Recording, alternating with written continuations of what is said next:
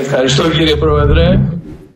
όπως είπατε, βρίσκομαι εδώ εκπροσωπώντας τον, την Ένωση Ασφαλιστικών Εταιριών Ελλάδος, δηλαδή τον φορέα της ε, ασφάλισης στην Ελλάδα που λειτουργεί από το 1907, δηλαδή από την πυρκαγιά της Θεσσαλονίκης μέχρι τις πλημμύρες στη Μάνδρα, το Μάτι και τις Θρακομακεδόνες.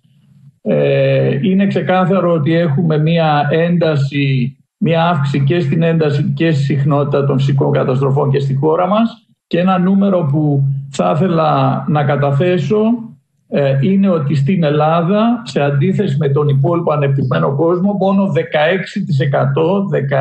16 των κατοικιών είναι ασφαλισμένες. Τα αντίστοιχα νούμερα στην Ευρωπαϊκή Ένωση και όχι μόνο στις πλούσιες λεγόμενες χώρες της Ευρωπαϊκής Ένωσης είναι στο 70 με 80% που είναι, είναι ασφαλισμένα. Η μόνη εξοικείωση που έχουν οι Έλληνες με την ασφάλιση δυστυχώς είναι ουσιαστικά με την υποχρεωτική ασφάλιση για το αυτοκίνητο. Και το να είμαστε σε τέτοιο ποσοστό ανασφάλιστοι ουσιαστικά κοστίζει και στο κράτος και στο φορολογούμενο αλλά ουσιαστικά στην ίδια την οικογένεια. Ε, στην ασφαλιστική αγορά όταν ένα σπίτι είναι ασφαλισμένο είμαστε εκεί άμεσα και με τα κεφάλαια θυμίζω ότι η ασφαλιστική αγορά διέπεται από το ευρωπαϊκό πλαίσιο φερικαιότητα Solvency 2 αλλά και με την τεχνογνωσία. Αναγνωρίζουμε ότι το κράτος θέλει, πρέπει όμως να μπορεί και δεν μπορεί σε όλες τις περιπτώσεις. Δεν υπάρχουν απλά τα κεφάλαια για να καλύψει όλες τις ζημιές όπως πρέπει. Δεν υπάρχει όμως και η ασφαλιστική τεχνογνωσία να το κάνει. Αναφέρομαι λοιπόν στο άρθρο 23 του σχεδίου νόμου, το οποίο ξεκάθαρα είναι προς, το, προς σωστή κατεύθυνση, καθώς για πρώτη φορά εισάγει την έννοια της υποχρεωτικότητας. Πρέπει όμως να δούμε ότι, να αναγνωρίσουμε ότι έχει κάποια πολύ σοβαρά αδύναμα σημεία. Περιορίζει την υποχρεωτικότητα σε τόσο μικρές και επικίνδυνες περιοχές με τρόπο που την καθιστά τεχνικά ανέφικτη. Ε, κοιτάξτε, στην ασφάλιση οι πολλοί πληρώνουν λίγα ώστε να καλυφθούν οι ζημιές που τελικά θα συμβούν σε λίγους. Αν ασφαλίζονται λίγοι, όπως προσδιορίζει αυτό το άρθρο, τότε το κόστος της ασφάλισης θα είναι υψηλό και ουσιαστικά η ασφάλιση θα είναι ανέφικτη. Και κάτι, το είπε άλλωστε και ο κύριος Παραδιάς ε, νωρίτερα σήμερα.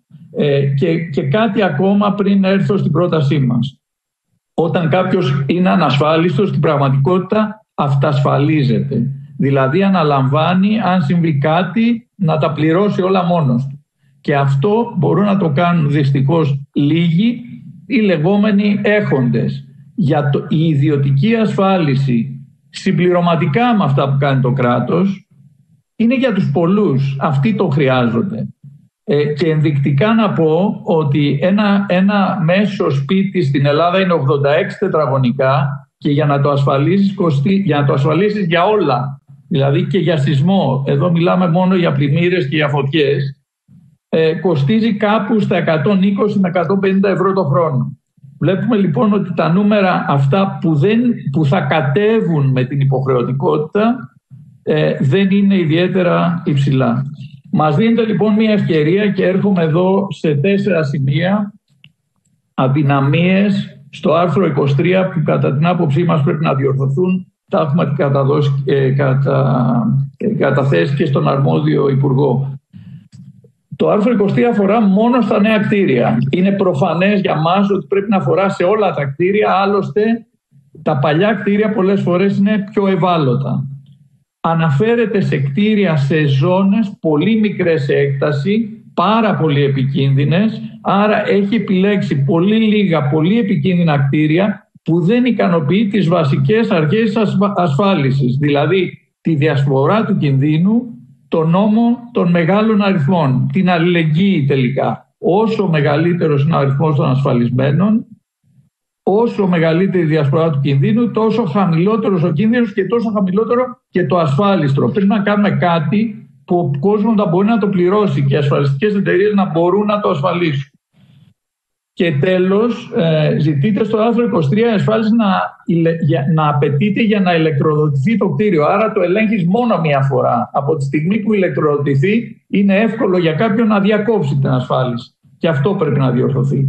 Η Ένωση Ασφαλιστικών Εταιριών Ελλάδος λοιπόν πρότεινε και στο στάδιο της διαβούλευσης και προτείνουμε και τώρα πρώτον διεύρυνση των γεωγραφικών περιοχών εφαρμογής προσθήκη και των υφιστάμενων κτηρίων και μάλιστα διευκρίνηση ότι πρόκειται για κατοικίες, προσθήκη εξοδοτικής διάταξης, δεν γίνονται αυτά σε, χωρίς μελέτη και σε ελάχιστες μέρες, εξοδοτική διάταξη για τον καθορισμό διευρυμένων γεωγραφικών περιοχών του πεδίου εφαρμογής του νόμου και για τη ρύθμιση τεχνικών λεπτομεριών εφαρμογής και τρόπου ελέγχου τήρησης της υποχρέωσης ασφάλισης. Και προτείνουμε να αξιοποιηθεί ο χρόνος μέχρι το τέλος αυτής της χρονιάς, να ψηφιστεί δηλαδή το άρθρο και να υπάρχει πρόβλεψη ώστε να διευκρινιστούν αυτά στα οποία αναφέρθηκα μέχρι το τέλος του 2022. Σας ευχαριστώ κύριε Πρόεδρε.